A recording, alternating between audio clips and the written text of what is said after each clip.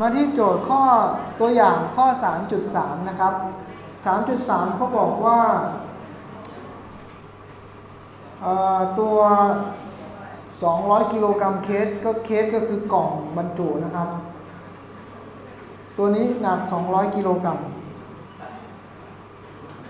ยังไงก็ต้องคูณ 9.81 นะครับจะได้ได้กลายเป็นนิวตันนะครับเอ่อถูกซับสเปน ก็คือถูกห้อยด้วยเชือก AB นะครับ AB เส้นนี้นะครับ แล้วก็เชือก AC นะครับ เส้นนี้ เชือกแต่ละเส้นเนี่ยสามารถที่จะรับน้ำหนักสูงสุดได้ 10 กิโลนิวตัน แต่ละเส้นรับได้ 10 กิโลนิวตัน ก่อนที่มันจะขาด ก็คือมากสุดมันรับได้ 10 กิโลนิวตัน AB เส้น AB เนี่ย always remains horizontal ก็คืออยู่ในแนวราบเสมอ จะไม่อยู่ในแนวอื่น ถ้าเขาดึงนะครับ จงคำนวณหา smallest ก็คือเล็กที่สุด มุมที่เล็กที่สุด ซึ่งจะสามารถรองรับเคสตัวนี้ก่อนที่เชือกมันจะขาดได้ มุมตัวเนี้ยมีขนาดน้อยที่สุดได้เท่าไหร่ เห็นไหมครับ มุมตัวนี้จะมีขนาดเล็กที่สุดได้เท่าไหร่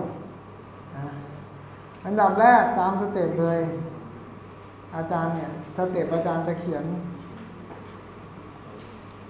แกนก่อน ถ้าเป็นอนุภาคนะ step อาจารย์จะเขียนแกนก่อน แล้วก็อะไรล่ะมาอยู่ตรงนี้ จุดไหนครับ จุด A นะครับมาอยู่ตรงนี้หลังจากนั้นก็เขียนแรงเข้าไปให้มันครบนะครับ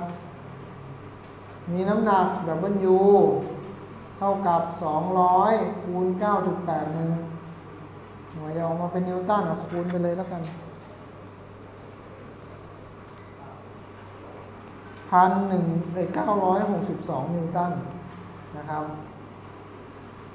แล้วก็มีแรงดึงด้านนี้เสมอก็คือ TAB เท่ากับอะไรไม่รู้นะครับ มี TAC มุม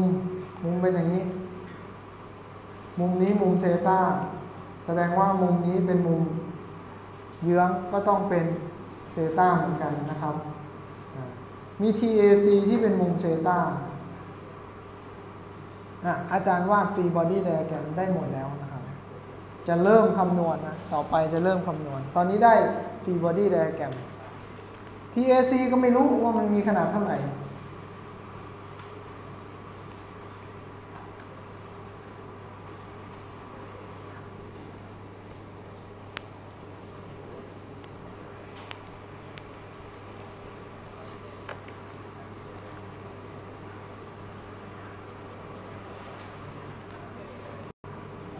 อะมันมีสเต็ปเดียวนะครับ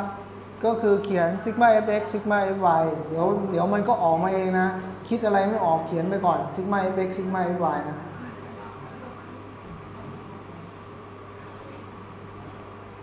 อะเรามาดู sigma fx มีอะไรบ้าง เราก็แตกตัวนี้เข้าไปในแกนก่อนเนาะแตกตัวนี้เข้าไปในแกน แตกเข้ามา TAC sine theta แตกเข้ามา TAC คอสเซตาครับอะ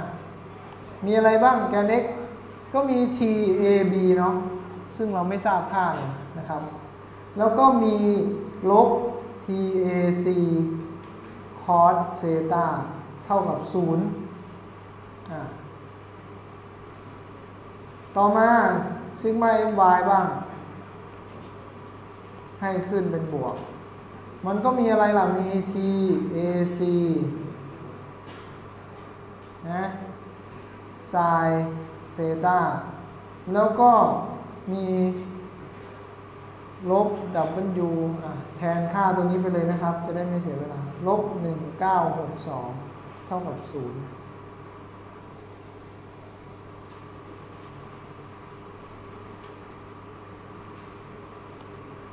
จากสมการที่หนึ่งเราลองจัดรูปให้มันดูง่ายขึ้น มันก็จะเป็น TAB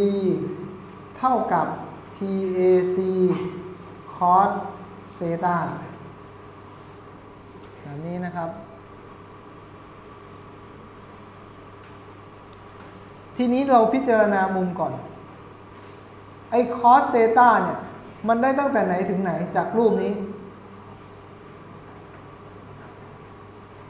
ก็จากลงมาตรงนี้เนาะแล้วก็ห้อย แล้วก็มีเคสอยู่แล้วก็ห้อยอยู่ อันนี้นะครับ จนดึงให้ตึงที่สุดก็ อย่างนี้นะ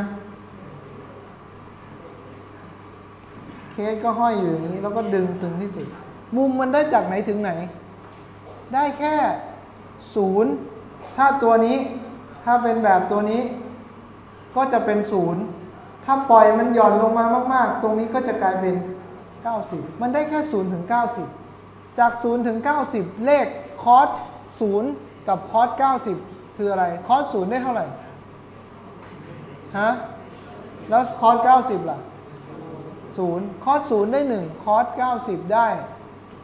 0 เลขมันจะอยู่ในช่วงระหว่าง 0 ถึง 1 ไม่เกิน 1 โอเคไหม ได้แค่ 0 ถึง 1 ถ้าคอสเซต้านะครับ ถ้าเรามาดูจากสมการนี้ ถ้าบอกว่าตัวนี้ได้แค่0ถึง1นะ ตัวนี้ได้แค่0ถึง1 TAB กับ TAC ไหนมากกว่ากัน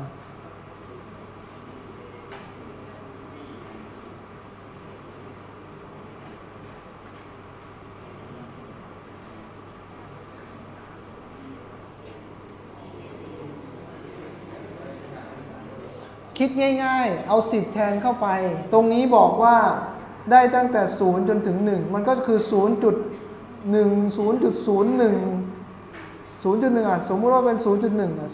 0.1 ก็ถึงแค่1อะอย่างเงี้ยคือมันอยู่ที่ 0 จุดกว่า แล้ว 0 จุดกว่าคูณกับสมมุติว่าแทน TAC เป็น 10 0.1 คูณเข้าไปมันก็จะเป็นไงมากขึ้นหรือลดลง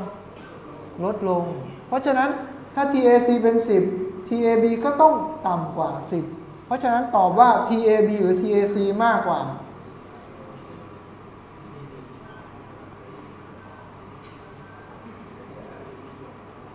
TAC เป็นไง มากกว่า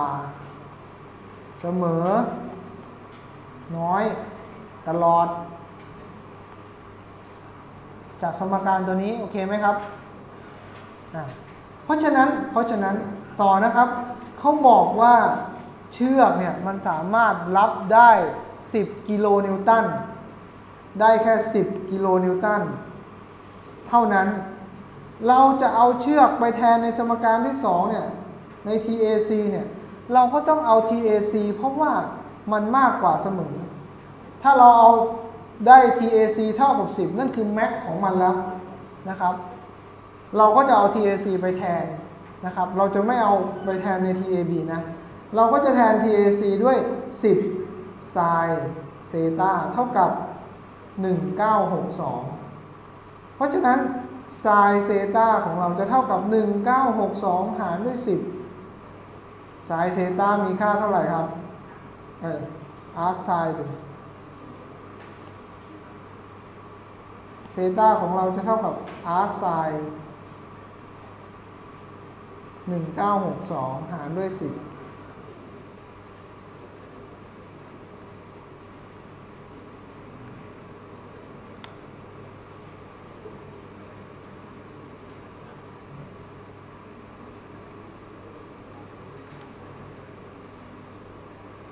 อ๋อเล่นเลเลอร์วัน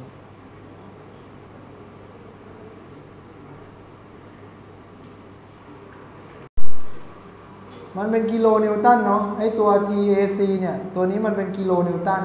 พอมันเป็นกิโลนิวตันตัวนี้มันจะเป็นคูณด้วย 10 ยกกำลัง3นะเพราะฉะนั้นมันก็ต้องคูณ 10 ยกกำลัง3ไปด้วยนะครับ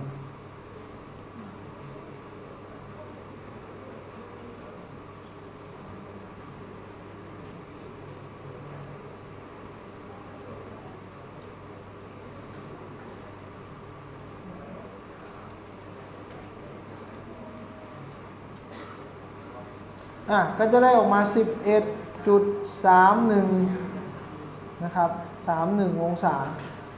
เราได้มุมแล้วนะครับ ได้มุมแล้วนะครับ เอามุม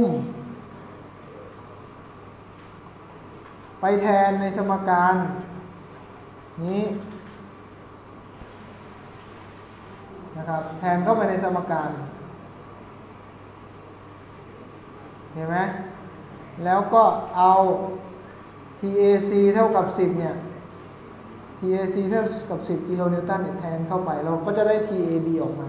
นะครับอะมาดูนะครับ แทนเข้าไป TAB ของเราก็จะได้เท่ากับ 10 กิโลนิวตันนะ ก็คูณ 10 ยกกำลัง 3 นะ คูณด้วยคอส11.31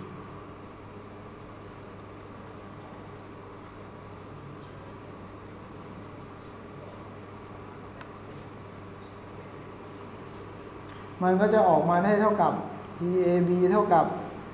9,805.8 นิวตัน ส่วนใหญ่ถ้าเกิดมันเยอะขนาดนี้มันก็จะทำเป็นกิโลได้ 9.8 0 นะครับ กิโลนิวตัน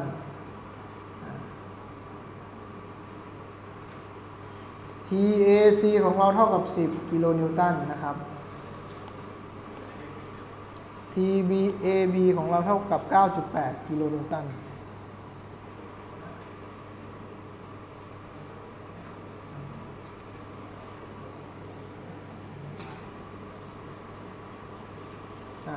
ได้คำตอบแล้วได้มุมเท่านี้ที่เราต้องการนะครับเซต้า11.31 นะครับ นี่คือ